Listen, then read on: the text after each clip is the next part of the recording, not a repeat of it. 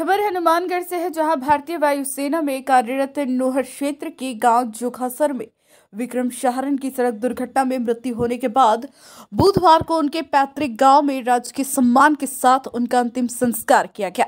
बुधवार को विक्रम शहरन की तिरंगे में लिपटी पार्थिव देह वायुसेना वाहन से उनके पैतृक गाँव जोखासर पहुँची। वायुसेना के वाहन में विक्रम शहरन की पार्थिव देव जैसे गाँव में पहुँची, गाँव में शोक की लहर दौड़ गई तथा परिवारजनों का रो रो कर बुरा हाल हो गया। अंतिम यात्रा में लोग भारत माता की जय के नारे लगाते हुए शामिल हुए। सूरतगढ़ से आए वायुसेना के जवानों ने गार्ड ऑफ़ ऑनर के साथ विक्रम शाहरन को अंतिम विदाई दी।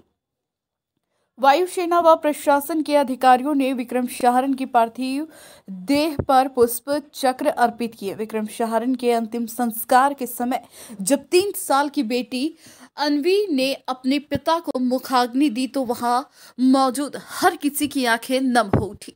विक्रम सहारन अपने माता पिता का इकलौता पुत्र था। उसके एक बहन भी है, पिता चंदा राम किसान हैं। विक्रम की शादी वर्ष 2015 में हुई थी। उसके दो पुत्रियाँ हैं, विक्रम सहारन भारतीय वायुसेना में हैदराबाद में टेक्नीशियन के पद पर कार्यरत था। मंगलवार को ड्यूटी पर जाते वक्त एक्सीडेंट हो जाने से उसकी मृत्यु हो गई थी। इस मौके पर एसडीएम सत्यनारायण सुथार, अतिरिक्त पुलिस अधीक्षक सुरेश जांगिण, पूर्व पालिका अध्यक्ष राजेंद्र चचान, पंचायत समिति प्रधान शोहन ढीर भाकपा नेता मंगेश चौधरी, ओम खटोतिया, सुरेश स्वामी आदि मौजूद थे।